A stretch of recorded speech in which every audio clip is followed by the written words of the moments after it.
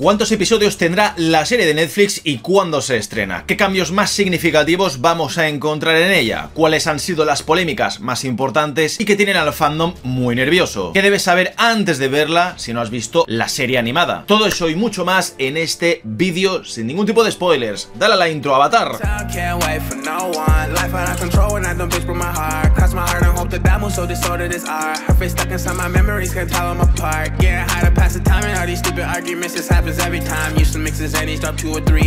Si te encanta El Señor de los Anillos y siempre has querido ir a Nueva Zelanda a visitar las localizaciones de rodaje y de paso vivir una auténtica aventura acompañado por mí y la maestra ciega, estás de suerte. En el link que te dejo en la descripción de este vídeo tienes toda la información sobre El Viaje Único, un viaje temático del Señor de los Anillos que hemos organizado del 13 al 22 de octubre de este año con un montón de actividades, visitas guiadas y que nadie más ha hecho. Apúntate y destruye el anillo único en el auténtico monte del destino y fíjate en todos los detalles que te dejo en ese link. Corre insensato, que las plazas son limitadas. Muy buenas mis soy vuestro maestro, ¿qué tal? ¿Cómo estáis? ¿Estáis listos para enteraros de todo lo necesario sobre la nueva serie live action de Avatar The Last Airbender? Claro que sí. En este vídeo te voy a explicar todo lo necesario para que vayas a Netflix preparadísimo como si tuvieses un certificado cegato oficial. En la descripción del vídeo y la línea de tiempo del mismo encontrarás los tiempos de cada punto que voy a comentar divididos en bloques para que vayas al que más te interese, aunque el te interesa por completo, ya te lo digo. Bueno, empezando por el principio, Avatar The Last Airbender es una serie de animación que se estrenó en 2005 en Nickelodeon, una serie que a día de hoy ya tiene casi 20 añazos y que ha envejecido muy bien en lo que es su historia, sus personajes y su narrativa. Tiene una secuela titulada La leyenda de Korra, que es una serie un poco más política que su antecesora y también igual de digna, al menos en mi opinión. Es un viaje que si empiezas te vas a satisfacer a todos los niveles. Además de esta secuela de Korra también se han hecho diferentes libros, diferentes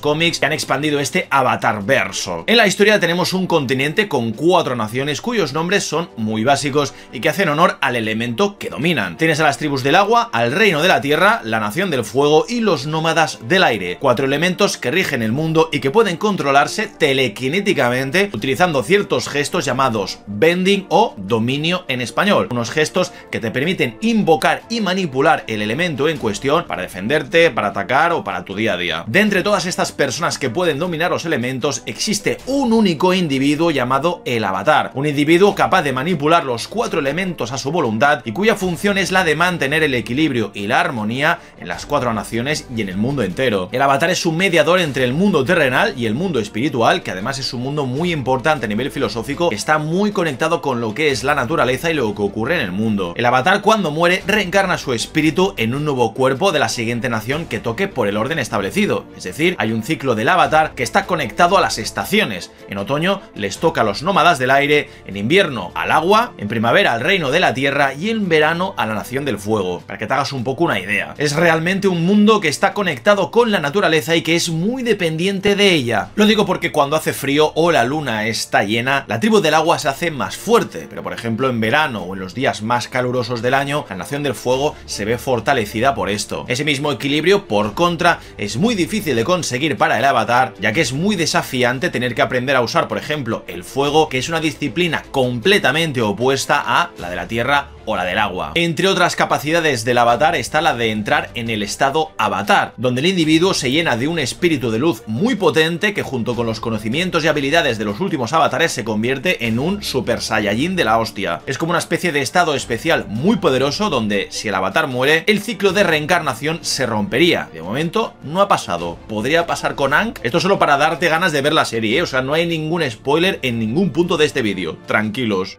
Gracias. Explicado todo esto, la historia nos sitúa en una época donde la Nación del Fuego atacó a los nómadas del aire llevándoles a la extinción gracias al cometa Sojin, un cometa de fuego que pasa cada 100 años por el continente y que como te he explicado antes, potencia el poder de la Nación del Fuego, su sintonía con el elemento. Es aquí donde empieza la aventura de nuestro protagonista, Ankh, el nuevo avatar que debe aprender a utilizar el resto de elementos y que debe huir para proteger su vida de la Nación del Fuego, ya que están aniquilando a sus compañeros nómadas del aire. Al escapar, queda atrapado en el hielo de las tribus del agua del sur durante 100 añazos. Cuando lo encuentran, Ang biológicamente tiene 12 años, por lo que sigue siendo un niño en tiempos de guerra que todavía debe aprender a utilizar los otros elementos para restaurar el equilibrio del mundo, ya que ahora mismo la Nación del Fuego está en constante guerra con el resto de naciones por el dominio del continente. La serie animada la tenéis en Netflix y es una de las mejores series que he visto en mi vida, y te digo que veo una media de 60-70 series al año. Para mí es perfecta, al igual que los elementos, porque es que está perfectamente equilibrada. La he remirado otra vez para ir preparadísimo a esta versión live action de Netflix, y tengo que decir que ya está bien de afirmar que el principio de la serie es infantil. Tenemos a niños de 12 años en un mundo en guerra. Obviamente que habrá ciertas actitudes infantiles porque es que los protagonistas son niños. Es una serie que crece constantemente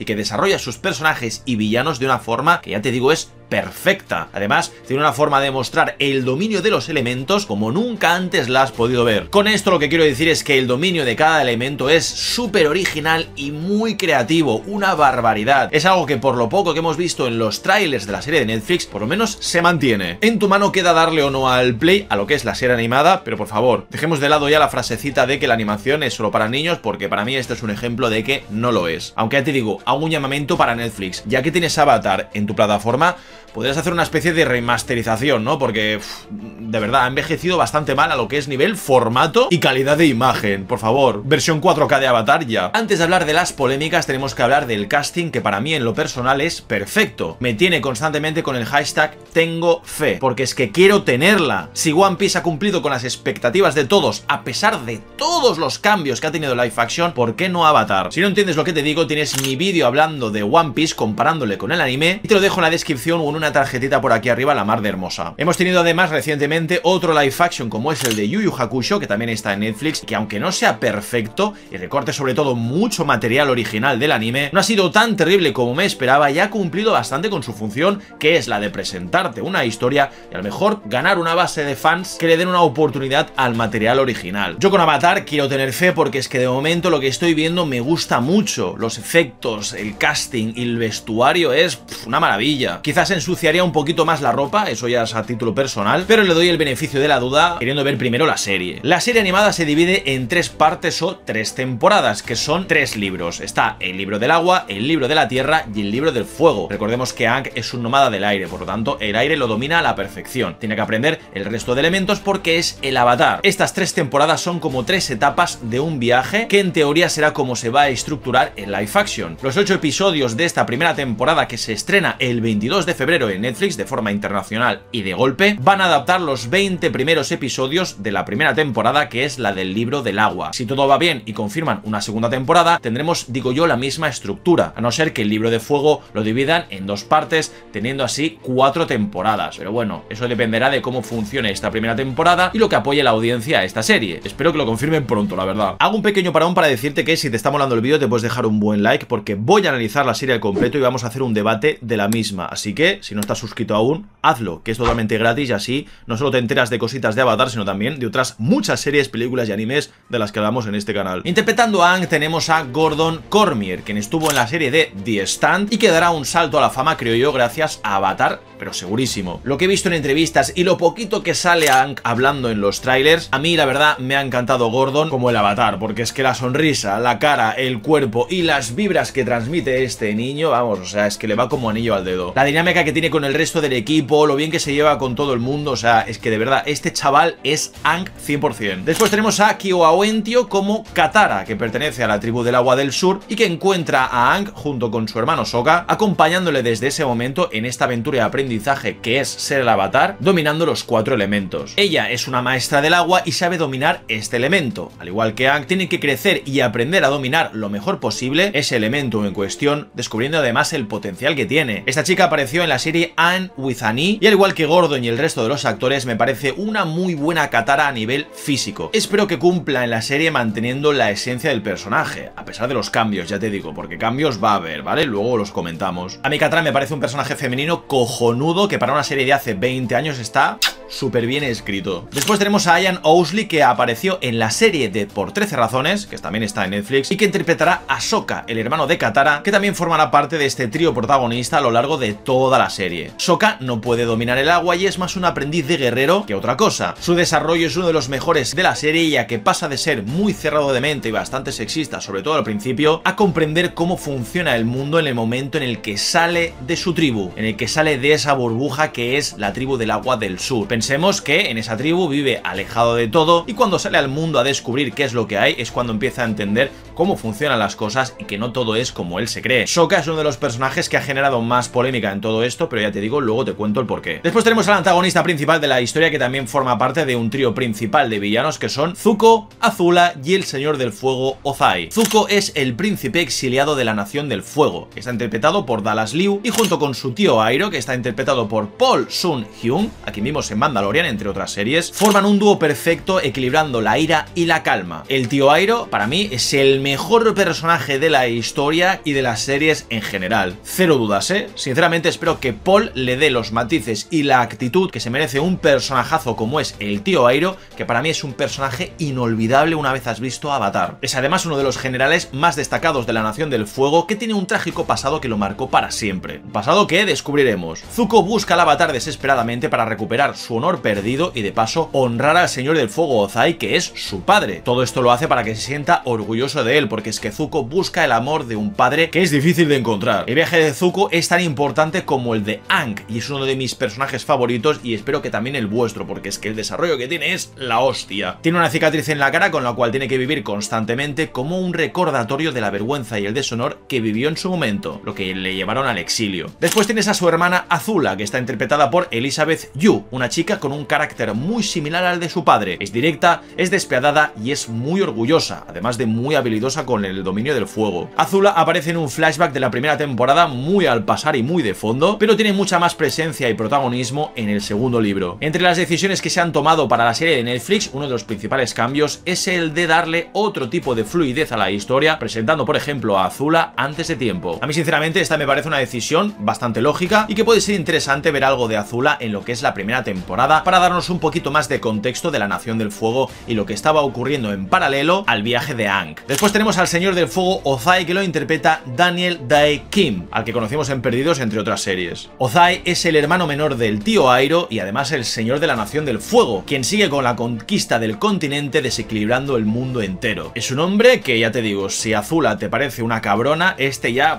next level. Después tenemos a Ken Leung como el comandante Zhao, una especie de rival para Zuko que también busca al avatar para sus propios planes y que es uno de los principales villanos de la primera temporada, además de un desgraciado que espero que todos odiemos en armonía. También tenemos otros personajes como por ejemplo Lee o Mei que se relacionan con Azula y que veremos supongo en esta subtrama de la Nación del Fuego. A mí el casting me parece buenísimo y la caracterización es la hostia. Como habéis visto, todos se parecen muchísimo a su personaje de la serie animada y no es para menos. Fíjate por ejemplo en el Rey Bumi, en el personaje de Jet, en el Maestro del Aire Gyatso, en la cazarrecompensa June, en el personaje de Suki o incluso en el motherfucking Heibai del mundo de los espíritus. Tíos, que han hecho hasta Momo, han hecho hasta Momo y se ve de puta madre por el amor de Dios. Yo quiero tener fe. A nivel artístico la serie pinta demasiado bien y es de momento para mí uno de los puntos más importantes que había que cumplir, ya que si visualmente un mundo tan rico en colores, poderes y vestimentas no se ve bien, pues apaga y vámonos. El problema con todo esto viene con las polémicas que han surgido tras varias entrevistas a los showrunners actuales de la serie. Y digo actuales porque los encargados de traer esta live action a Netflix eran los creadores de la serie original. Lo que pasa es que por diferencias creativas abandonaron el proyecto dejándolo en mano de otros como es Albert Kim. Esto a más de uno le asustó, entre los cuales me incluyo. ¿Qué es lo que ha pasado para que los creadores originales de la serie, quienes más que nadie conocen el mundo que ellos mismos crearon, abandonen un proyecto así? De momento no lo sabemos y dudo que lo sepamos por temas contractuales, lo más probable. Pero de buenas a primeras yo en este momento estaba bastante asustado. Lo que pasa es que claro, se empezaron a publicar trailers, entrevistas del casting, algunos clips y muchas fotos de rodaje y de promociones y la verdad mis miedos empezaron a desaparecer porque lo que veía y lo que escuchaba, joder, era demasiado bueno. Así que de nuevo, vuelvo a apelar al hashtag tengo fe. Pero, pero, pero hemos tenido otras noticias bastante polémicas de las cuales quiero destacar dos como las más importantes. Una está relacionada con el sexismo de Soka y la otra al acercamiento que quieren hacer los showrunners de Avatar a la audiencia de Juego de Tronos. Luego te explico. Sobre el sexismo de Soka ha habido muchísimo revuelo y muchísima crispación. Lo digo porque Avatar es una serie muy amada por el público que a pesar de verla en su infancia parece ser que no han madurado a nivel mental. Lo digo porque me parecen reacciones muy exageradas ya que aún no hemos visto la serie y podemos darle creo yo el beneficio de la duda cuando todo hasta ahora no pinta tan mal. Como te comentaba antes, Soka tiene una actitud muy sexista al principio de la historia, con frases que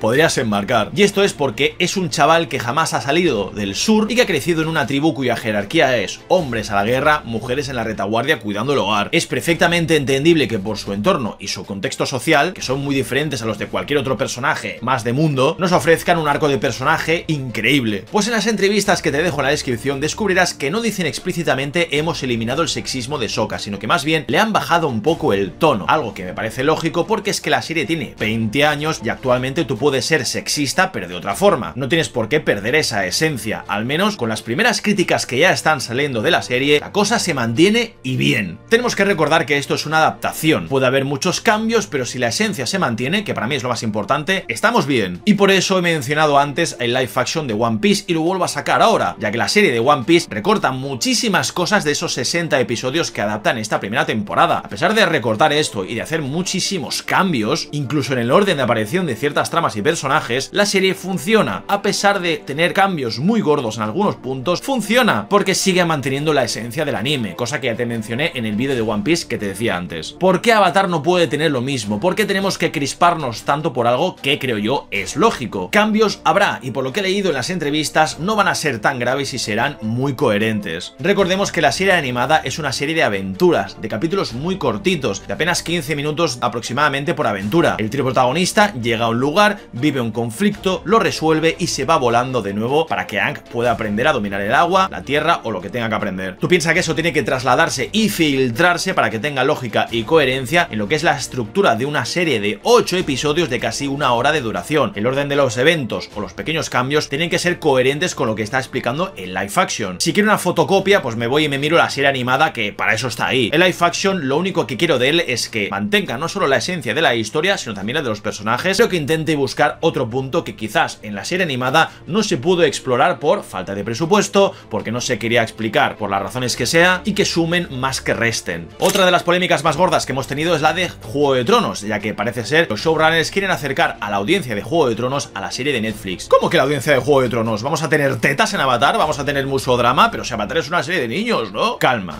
Vamos a ver, si tú tenés la entrevista detenidamente, es más de lo mismo con la de Soka. Tenemos que ser conscientes de que trasladar la serie animada a live action implica mantener evidentemente una esencia que afirman está, pero dándole otro tipo de enfoque que evidentemente no eche para atrás a un público potencial, porque cuanta más gente vea Avatar, pues oye, mejor, ¿no? Y esto lo digo porque yo, repito, estoy harto, estoy cansadísimo de tener que escuchar y leer constantemente gente que abandona el visionado de Avatar, la serie animada, porque es o de dibujos, o porque es muy infantil al principio, o porque no se entiende que son niños intentando ser niños en un contexto de guerra y de crisis política. La audiencia de Juego de Tronos tenemos que entender que es una audiencia que no busca solamente tetas, eso lo buscan los pajilleros. La audiencia a la que le gusta Juego de Tronos es una audiencia que busca tramas políticas, un poco de violencia explícita y realismo y algo de drama, cosa que no creo que le siente mal a una serie como es la de Avatar, ya que en la serie animada hay muchos momentos muy jodidos en los que Aang tiene que asimilar de una maldita vez la misión que tiene que cumplir, porque es que no es algo fácil con los 12 años que tiene. Por lo que he leído, lo de Juego de Tronos tiene más que ver con ciertos momentos de, por ejemplo, el combate, que son muy realistas, lo que implica que el fuego quema, pero bien, y también le van a querer dar un toque político como también vimos en la leyenda de Korra. Por lo tanto, yo de momento estoy tranquilo. Hashtag tengo fe. Son quejas que a mí, por ejemplo, me parecen absurdas porque uno de los grandes cambios que vamos a ver en el live action es ver el exterminio de la nación de los nómadas del aire, que es algo que en la serie animada jamás se vio y que a nadie le ha molestado. Nos molesta que añadan esto, pero nos molesta que haya pequeños cambios que tampoco serán tan graves, pues lo dicho. Y otro de los grandes cambios, y quizás el más importante ya el último que voy a comentar, es el del cometa Sothin, un cometa que cruza los cielos cada 100 años y que en su momento permitió a la Nación del Fuego aniquilar a los nómadas del aire. la serie animada comienza justamente con la llegada de este cometa que supondrá la victoria de la Nación del Fuego sobre el resto de naciones. La llegada de este cometa es a lo largo de un año entero, que es el tiempo que transcurre en las tres temporadas. 365 días, ¿eh? Sin presión, Ang, sin presión. Pues parece ser que en el live action se va a eliminar al cometa, ya que vamos a luchar contra un enemigo imbatible que es el tiempo. Evidentemente, todos sabemos cómo funciona Netflix y cualquier plataforma de streaming actual. Te subimos la cuota para mejorar nuestros productos y servicios, pero no te confirmamos si habrá una nueva temporada de esa serie que te gusta tanto. Si los números no son los que queremos, a chuparla. Así que sí, no se ha podido rodar toda la historia de Avatar de golpe como con muchas otras películas, ya que van a tener que ir temporada a temporada. Lo digo porque los actores no pueden mantenerse jóvenes eternamente, y si no, díselo a Stranger Things y a sus niños de 40 años. Me parece una decisión muy lógica, pero al mismo tiempo muy difícil de asumir. Te lo digo porque Gordon, el actor que va a interpretar a Hank, tenía 14 años cuando hizo el casting y ahora tiene 16, o sea, la cosa está bastante complicada. Si Netflix lo que quiere es presentar la serie como hizo con One Piece y ya veremos si la confirman o no una secuela, es imposible que el cometa se mantenga a lo largo de tres temporadas con unos actores que van a tener 30 años en la temporada 3 o 4, ¿me entiendes? A mí las polémicas no me han achantado. Repito que sigo teniendo fe, ya que se pudo hacer con One Piece, se pudo hacer con Yu Hakusho y con Avatar las cosas no pintan tan mal. Ojalá no me equivoque y que a pesar de los cambios que tiene la serie, cumplan lo que es mantener la esencia y le podamos perdonar esas cositas que quizás podrían haberse mantenido igual que en la serie animada y no hacía falta cambiar. De momento, todas las críticas que están saliendo son muy positivas y eso al menos a mí me da fe porque ha habido otros productos de Netflix cuyas primeras críticas, la verdad, no han sido demasiado buenas. Yo lo que tengo claro con la serie es que salga como salga, para bien o para mal, ya solo con sus trailers es mejor que la bazofia que hizo Shyamalan. Mira gente, hasta aquí mi vídeo de todo lo que tienes que saber de Avatar The Last Airbender, espero que te haya gustado, espero que te haya servido y si ha sido así, pues te puedes dejar un buen like, que nunca está de más y si no, échalo los leones que no pasa absolutamente nada. Muchísimas gracias a mis patreons y miembros de YouTube por su apoyo incondicional, links en la descripción por si quieres ser un mecenas ahí que apoya al canal fuertemente. Y yo aquí me despido gente,